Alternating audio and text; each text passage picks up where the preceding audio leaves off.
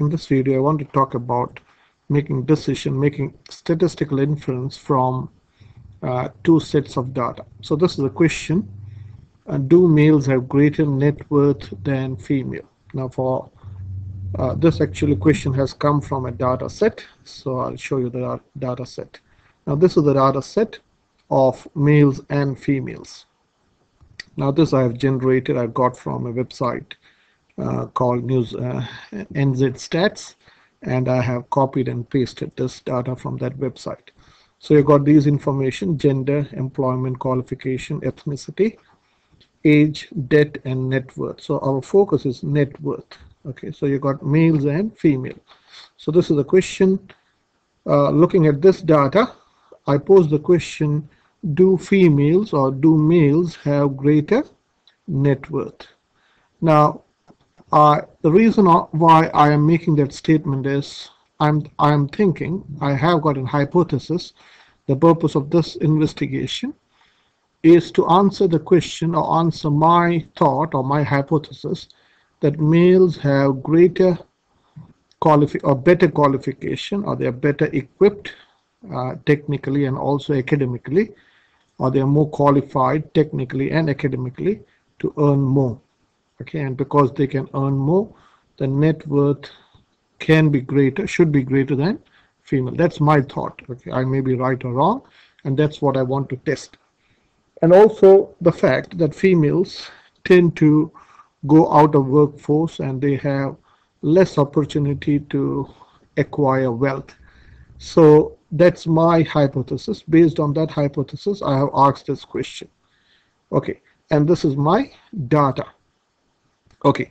Now now to answer that question uh, one one way of doing it is you calculate the net worth of all the males and all the females. So you got a population of 300 here. Uh, I got this population of 300 people males and female. So that is called census uh, uh, statistics. But uh, what I want to do is I don't want to calculate the statistics of all 300 people which would be really time consuming. I want to make it, it take a sample of 30 males and females. Want to take a sample of 30 males and 30 females such that the sample is unbiased. Unbiased in the sense I take 30 random samples of males and female. So how do I generate or how do I get the, that random sample of 30 males and 30 females. For that, i go, I'm going to use a calculator and present this on the calculator. So that is random number times 300 plus 1. So this will generate on the calculator random numbers from 1 to 300. So let me show you that. So let me cancel. If you go to run menu, so let me exit. If you go to option and then you press F6, then you go to probability. Uh, in some calculators you may have this in a different option. So you go to random number. This should be on the screen. Times 300 plus 1 okay. So the first number that I got was 30 say it is 37 so I'll write 37 just to remember. So I'll make two columns. One is male and the other is female. I'll write only F. Okay. F for female okay. So let me write. Let us this is female and male. So I'll first have to decide 37 is for male or female. So this is 37 which is a female. Okay so uh, I'm interested in this stats. So I'll write down 37 so that I remember this is female. So if I go back if I press equal again it's 26 so I'll go back and check what is this what where is 26 so this is 26 that is luckily male. So this is minus 127 this is 26 okay? And I'll keep a record and I will generate 30 random numbers okay? So I'll show you how I did. So let me remove the wheel. This is this is the 30 random numbers. Sorry these are not the random numbers. This is the actual net worth in thousand. Minus 27 means it's minus 27,000 I have not written the thousand because if you look at the stats it is rounded in thousand. Okay so it is in thousand. So this is 200,000 this is 209,000 so the data is very clear this is rounded to the nearest thousand. So this is I have written the stats sorry this is the this is the data that actually got. This is a random sample of 30 females and males. Okay? Okay so let me show you the stats. Then I calculate the statistics. So this is the this is for men. This is the stat. So the minimum was 27,000 so let me show you that. So let me go back. Oops it is yeah. Can you see the minimum is 27,000 for males and 56,000 for females. The maximum for males is 436,000 and the maximum is 500,000 the median is halfway between the 15th and the 16th so the median comes here. Median is the average of this two. Okay and the average of this two is female. So this is for this is the median so to find the median what you do is you add this add them up. So this is 113 just to show you how you calculate median.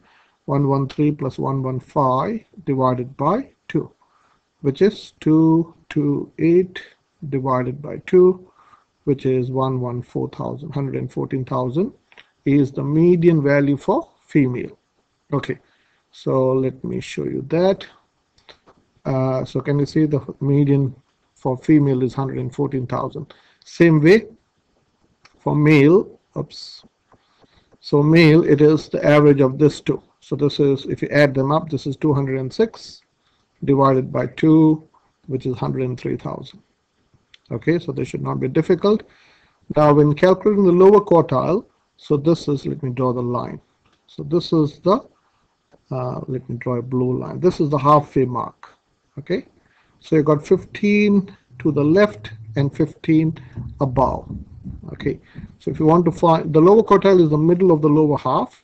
So the half if you want to find the half of the upper half or lower half you have the eighth value which is the middle. So the lower quartile this is the lower quartile for male and this is the lower quartile for female. So you count, you got seven above eight, and you got seven below eight. Okay, so one, this is one, two, three, four, five, six, seven. And you got one, two, three, four, five, six, seven. So this is 45 and 22. And same way you find the middle of the lower half. So let me show you that. One, two, three, four, five, six, seven, eight. So can you see this is upper quartile for males and this is the upper quartiles for females. Okay. So let me go back. Okay. So that's how I found. So this is lower quartile. This is upper quartile. This is maximum median and so on. So I hope you understand the stats. Okay. Now we need to uh, make decision about uh, whether the males or whether males have greater net worth. Now, I, this is a box and whisker. I used a program called uh, Autograph to uh, draw this. So this this is the stats minus 27,000, 436,000. Okay, now lo and behold, my stats is my stats is very different what I thought of. This is the box for males and this is the box for females. So this is the lower quartile, this is the median, and this is the upper quartile. Okay. So here we can see many things. One is this is over, complete overlap of these two boxes. Okay. That's one one very clear thing. It's one complete overlap of boxes. Complete overlap of boxes. Now this is this is very crucial of the two boxes. Now I hope you know the boxes represent the middle 50%.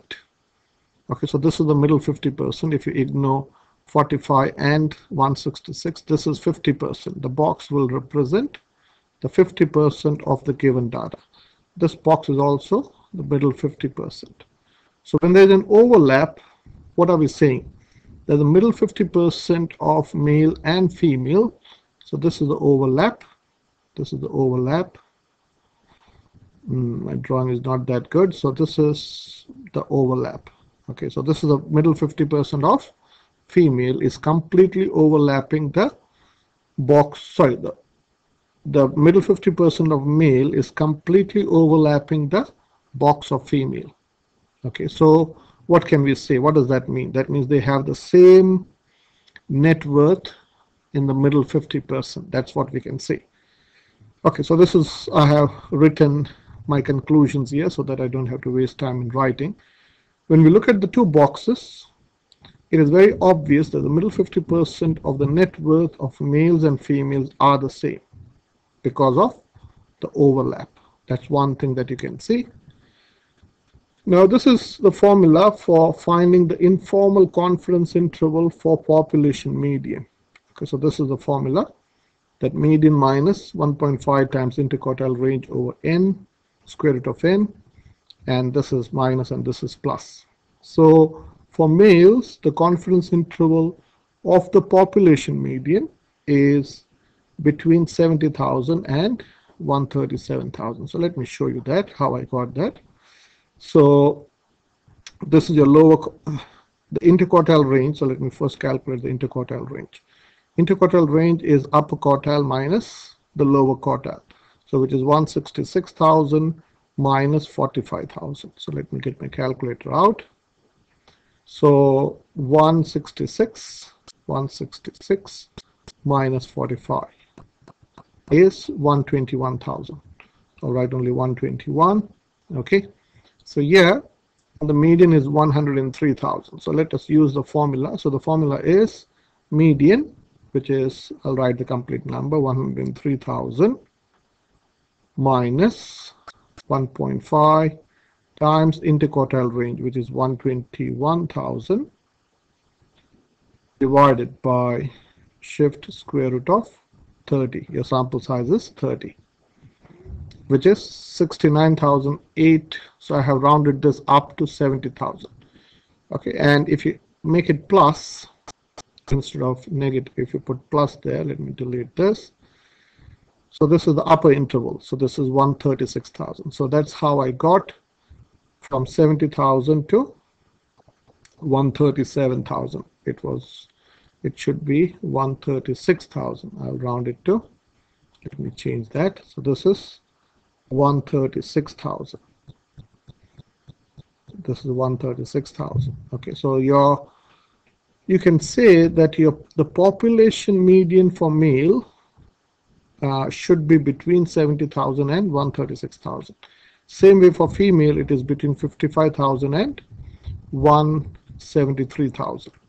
So again, if you look at the informal confidence interval, there's complete overlap. This is between 55,000 to 173,000, and this is 70,000 to 136,000. So again, the male uh, informal confidence interval is overlapping that of female okay okay so this is uh, the next thing again uh, overlap of confidence interval okay so again that's the same statement that you can make that uh, you cannot make a claim that males have greater net worth than female or you can also make cannot make the other claim that females have greater net worth than male.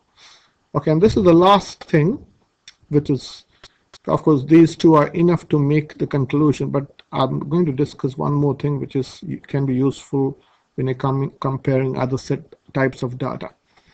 Now, this is called the median shift. Okay, so when, in this case, of course, the median shift is the difference between the two medians. So the median for female is 114,000 and the median for males is 103,000. So there is a shift of 11,000. Now here you can say that female's net worth, the female median net worth is greater than the men net worth by 11,000.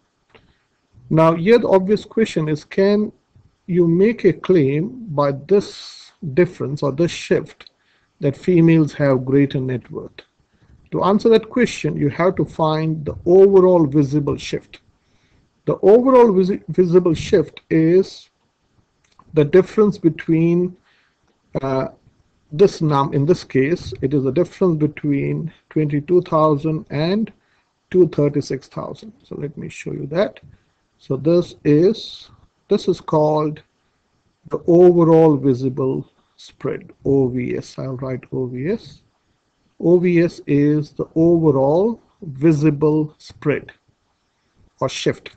Okay the overall visible shift or spread is the difference between this blue line that is 22,000 and 236,000 so I have done the calculation. So 236,000 take away 22,000 is 214,000 okay then you have to find express this ratio as a percent so that's what I've done so let me show that on a calculator so 11,000 divided by 214,000 so you're dividing the median shift by the overall visible shift and this, if you change that as a percent, it is 5.14%. So what does this mean? This is a very interesting percentage. So what are we saying?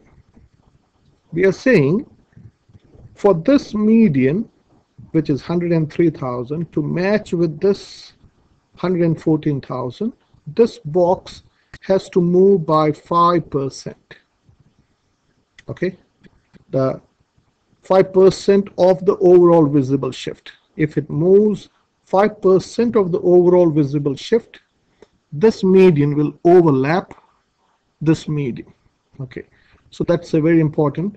This means that the shift required, that is the median shift, the shift required for median of men, which is 103,000, to match up with the median of female, which is 114,000, is about 5% of the overall visible spread. Okay, I hope you can understand the maths behind it. I'll say it again. For this median of male to match up with the median of female, this box has to move 5% of the overall visible spread. Okay, now, and for that, you have to, now to answer that question, this is something that you need to remember. Okay, that, however, when making a claim back in the population, this is a very important phrase, because from the sample, you're going to talk about the population of male and female. With a sample of 30, you have only a sample of 30, and you want to talk about the back in the population. The shift required should be more than 33, 33 and one third percent of the overall visible spread. This is something that you have to remember. That when you have a sample of 30, and there is a difference between the median. The, the shift that is required for one median to match the other median should be more than 33 and one third percent of the overall visible spread. Now here in this case we have got the for the two medians to match up you only require a shift of 5% of the overall visible spread. So this is not a big shift. So the difference between the medians of males and females net worth is not big enough to make the claim back in the population that females have greater net worth, than males or males have greater net worth than female. So this is what our conclusion is. So this means it is not possible to make the claim that one gender has greater net worth than the other.